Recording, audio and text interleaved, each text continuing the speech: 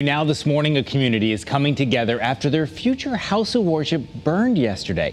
The fire at the New Haven Mosque off Middletown Avenue left behind some significant damage. Channel 3 Eyewitness News reporter Carolina Cruz is live in New Haven this morning. Carolina, the building that burned was still under construction, right?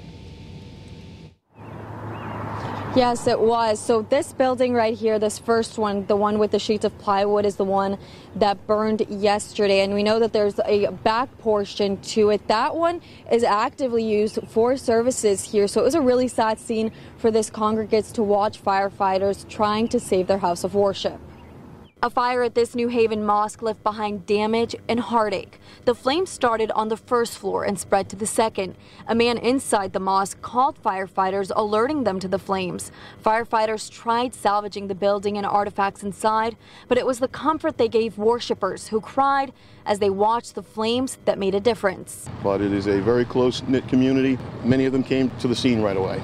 The New Haven fire chief says they asked the state fire marshal's investigators to also look into a cause since this fire happened at a house of worship. Worshippers are asking for prayers, and they've also started a GoFundMe for anyone interested in helping with the recovery. For now, reporting in New Haven, I'm Carolina Cruz, Channel 3 Eyewitness News.